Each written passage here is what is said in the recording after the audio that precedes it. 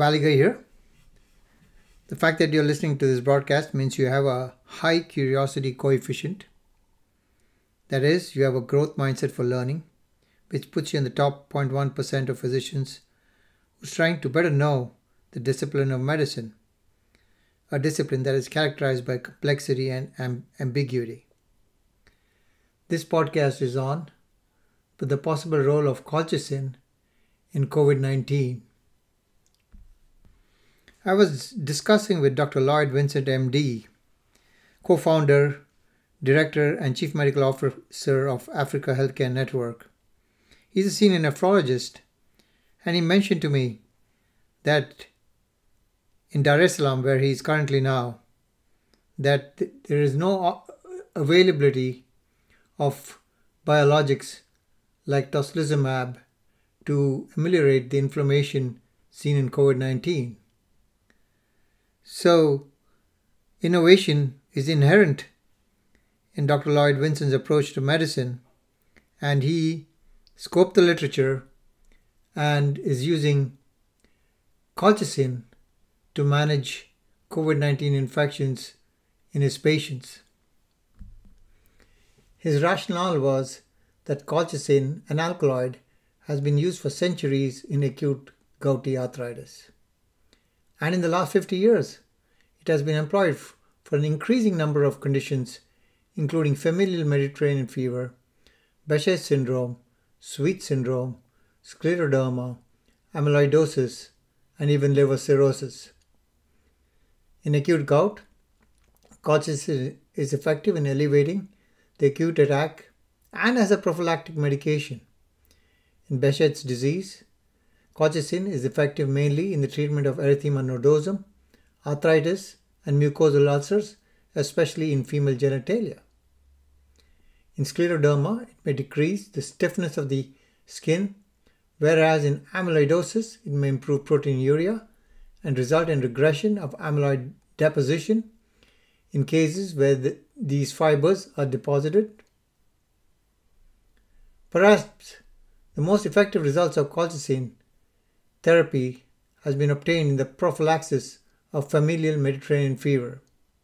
In this disease, it prevents the occurrence of acute inflammatory episodes and fends off the development of amyloidosis.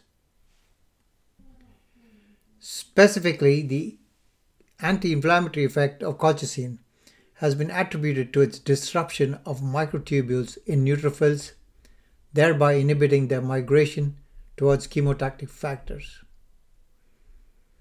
Moreover, colchicine may also alter the distribution of adhesion molecules on the surface of both neutrophils and endothelial cells, leading to significant inhibition of interaction between white blood cells and endothelial cells, interfering with their transmigration.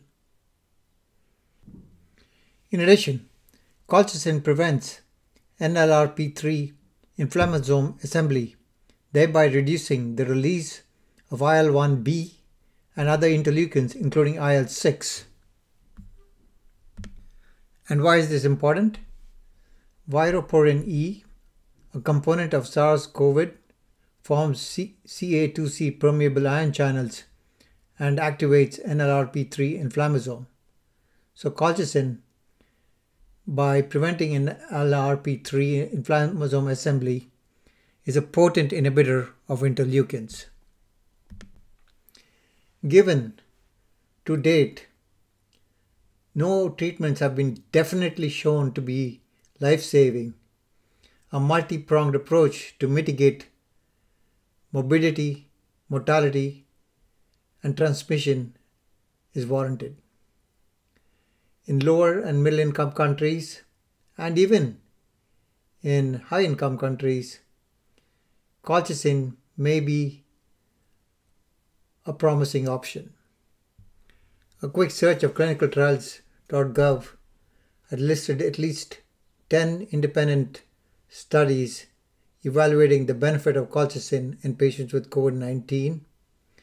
And these centers include UCSF, Montreal Heart Institute, NYU, Maimonides Medical Center, Hospital Universitario La Paz, Madrid, Spain, hospitals in Argentina, Iran, and Milan, Italy.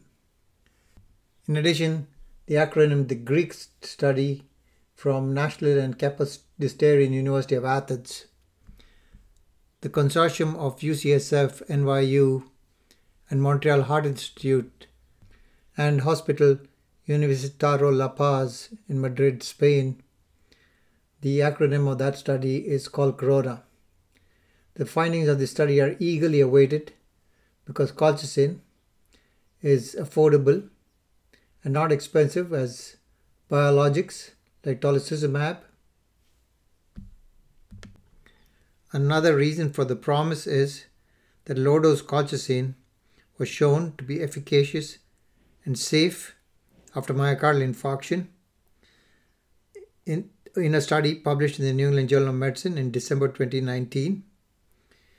Among patients with recent MI or myocardial infarction, colchicine at a dose of 0.5 milligrams led to a significantly lower risk of ischemic cardiovascular events than placebo.